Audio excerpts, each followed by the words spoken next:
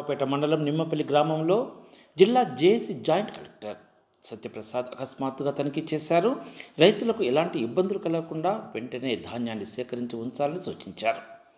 Satyaprasad KTCC chairman బండి నరసింహ యాదవ్ కోండ్రాపేట తహసీల్దార్ నరేందర్ తదితరులు పాల్గొన్నారు.